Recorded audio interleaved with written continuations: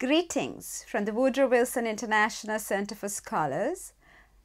My name is Rangita De Silva de Alwis, and I'm the director of the Global Women's Leadership Initiative and the Women in Public Service project that was launched by Secretary Hillary Clinton in partnership with the Seven Sisters Colleges and the Department of State to inspire a new generation of women leaders to lead their communities and their countries in every level of decision making in their governments and in public service. The mission of the Women in Public Service project is to ensure that 50% women are in leadership positions in public service by 2050. And this is the exciting call to action. Now, why is the rule of law imperative to women's empowerment? Women's empowerment and women's leadership cannot exist in a vacuum. It exists within the rubric of a strong rule of law that works for both men and women.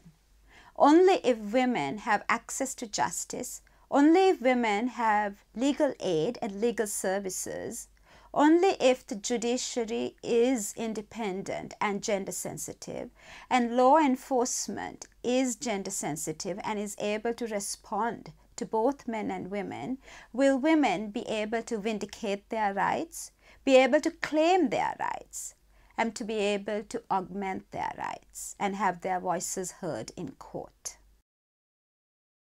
Women's leadership is critical to the rule of law for long, women have been absent from decision making processes.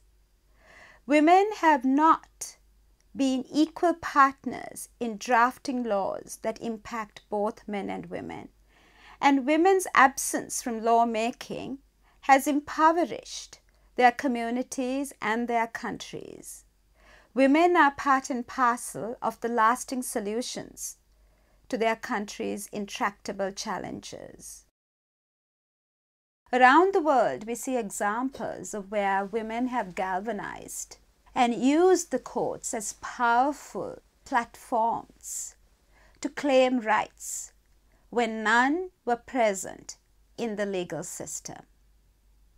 Now, why is it that women are critical to democracy and the rule of law? Historically, women have been absent from law drafting initiatives. And male hierarchies alone have drafted laws that have not embraced the voice of women. Michelle Bachelet, the current head of UN Women and the former head of Chile, has stated so, so powerfully the rule of law often rules women out.